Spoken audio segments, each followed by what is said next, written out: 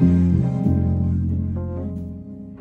Forever means victory, help. Whole name means protector. Shortened by two letters without the IR at the end. The reincarnated Gil Scott living in the bottle again. The World Cup in Moscow with the blondes of 10. Vape pen when I speak is like a lottery win. Quote my total, multi mogul. So fly, I can walk in any spot. Every box be soaking. From a time when weed was stronger. Today's streets are calmer. They used to kill for shade sneaks and bombers. Uh. My name existed forever before Christians came in America, even better. But click sounds in their mouths was language for humans. With stick figures and K's, my name's written fluid. Nasty like way before even Rome had a sewage. But 50,000 years ago, if I could choose its origin, since there's nothing to gain by assuming I'ma say the definition of my name, the truest. I shock them like real bullets and prop guns. Creep with baddies in sequence, dresses with high strung. Fresh off the jet, you can see my vision where I've come. How much time y'all got? Yo, let's drop something. I'm still that way.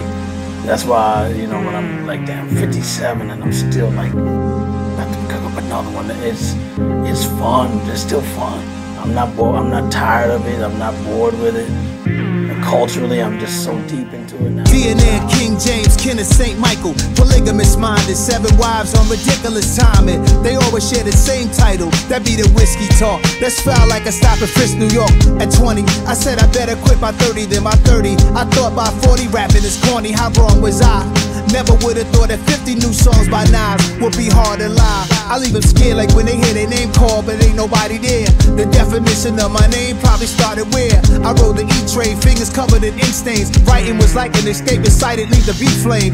It was Rod Kane, Kool G, and Chris. Few names like Cool James, Ice Cube, and Rick. That was musically sick, successful and unnatural. I throw these songs in a cyanide capsule. The truth is poison to any fraud.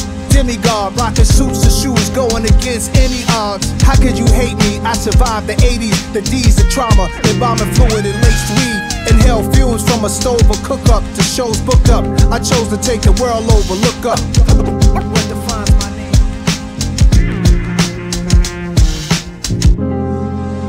Still doing how we do it. I'm, cause I'm a fan of music anyway, so I'm like, you know, if we supported you and what you do and we're, we're fans, keep feeding us stuff that we love. And, and because there's a lot of groups that just started coming with stuff, I'm like, hi. And you're disappointed. And I want you to anticipate that the next thing that we deliver is going to be still what you expect from us. Yeah, yeah, like we said, it updates, but still it sounds like us. I feel like you still got to sound like you.